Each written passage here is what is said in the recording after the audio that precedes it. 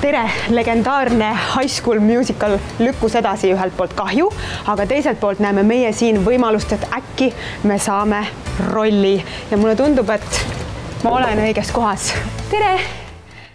tšau, Piret.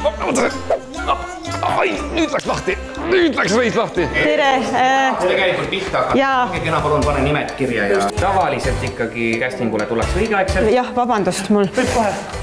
ja tere, tere, tere.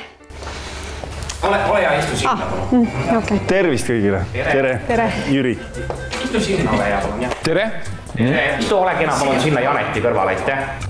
kõik teavad, mida te olete pidanud tänaseks ette valmistama, eks ole? see on siis High School Musical on ju, see on Disney, me tahame näha toorest energiat, me tahame näha naeratusi, suur isiksus, kõik peab olema hästi suur, hästi energiline. aga me anname teid kohe meie teatri repetiitorile, Egert Söören õpetab teile koreo selgeks. kaks korda alla. suuremad Hollywoodi naeratus. kõige raskem produktsioon, mis ma castingul olen käinud.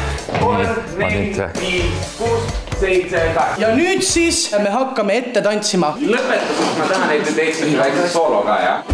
kui sa tead, mis su tee, oled sa juba valmis, et selles müüki koos me kas keskmine, kas, kas keskmine peab spagaadi tegema?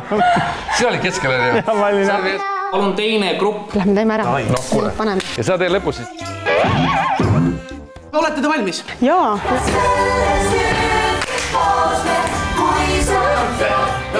kas saab korra uuesti alati ongi nii, et kolmandast läheb kõik meelest ära. nii, olete te valmis? jaa. ei tulnud, ei tulnud, vabandust, kolmas ja viimane katse siis. Ei tulnud, ei tulnud jälle, sorry.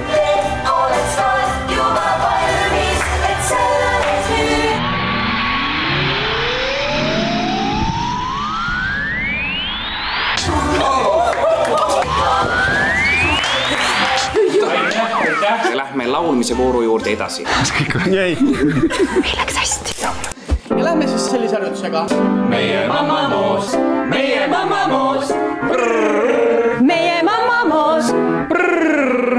meie mammamoos. meie mammamoos. nii, hästi, siis hakkame ühekaupa laulma. ja Piret, ma kuulsin, tahaks alustada. Ah, selge. korda. ei ole siis. Let's go, Piret. nii.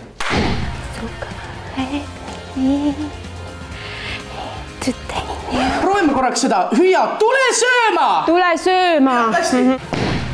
Come on, let me entertain. Ja äh, kena, siin juba oli natuke rohkem kosta. kas me saame äkki akna kinni panna, et?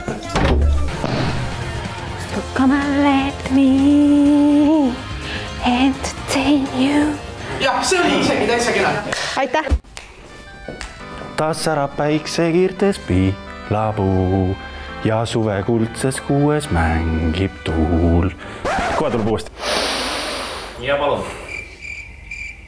Ei tulnud praegu meelde. taas kumab väiksekõrts. ta särab päiksekiirtes pihlapuu ja suve kuldses kuues mängib tuul. vabandust, ma võtsin asju korra, ära. korra niimoodi, et sa seisad paigal. ahah, ei, ära tule siia, ära tule. vabandust. hea, kuule, aga super. ei oota, oota, oota, kohe tuleb, oota. taas särab päiksekiirtes pihlapuu ja suve kuldses kuues mängib tuul. mul rohkem ei ole praegu, praegu ei ole rohkem. aga see juba oli täitsa, täitsa kena. nii, ja võtame siis järgmise. austatud žürii, mul on üks laul, see on maailmakuulus laul, seda teavad kõik. ma loodan, et mul on sõnad meeles. Tequila. Tequila. Tequila. Samblase now, samblase now. miks, ei, miks peaks, miks peaks inimene samblasse näo suruma? ja ma mõtlen ka, et pigem võiks tequilat juua. ma arvan ka. vanas ma hakkasin mõtlema, kas Haapsalus on raudtee juba või ei sa ole? oled Haapsalust pärit jah? ma olen Haapsalus käinud. jätkame näitevooruga. olge kena, võtke see pink palun ka klaveri juurest. Piret, ole hea, võta, võta, võta, casting käib. kaks peategelast Te olete sellised viieteist, kuueteistaastased, väga-väga armunud, istuge julgemalt lähemale. väga armunud. ma olen natuke hiline küps ja et kas, kas see nagu tähendab, et me peame nagu siin muisu tegema või? no stseeni lõpus on, on väike suudlus jah, et see on ju ikkagi okei okay,, te olete ikkagi ju professionaalsed näitlejad. päris rets või mis? ma ei suuda uskuda, kui hulluks kõik läksid ainult sellepärast, et me teise vooru saime. siin on palju rahulikum, eks. palju parem ja Et see tütarlapsega kulmineerub kohtud, siis nagu- nagu..., siis vaata sa nii ei tee. sa ei tea mu lapsepõlve? ka õige. ei, teeme ära. päriselt. just, stseen. ma paluks võib-olla Jüri, ma annan sulle ühe teise stseeni. Teie olete kaksikõde, kaksikvend. just, te olete kaksikud, suudlust täna ei tule. suudlust täna ei tule. Šapei.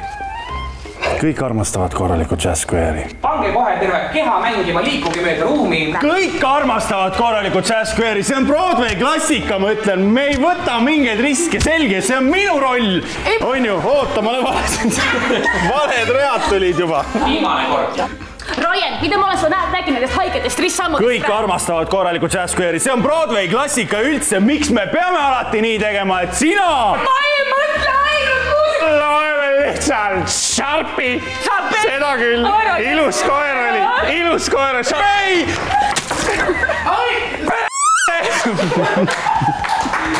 viie kuni kümne minuti jooksul siis saate teada, kes teist on siis truppi pääsenud. Piret, mulle väga meeldis. Jüril on X-faktorit nagu muda, aga ta ei tantsi. no Robert tegi ilmselgelt kanaliigutusi vahel. paluks teid korra kõik siia, jah. suur-suur aitäh, et te tulite. Piret, minule sa kohutavalt meeldisid. hääl on natukene vaiksekene, aga seda saab eh, parandada.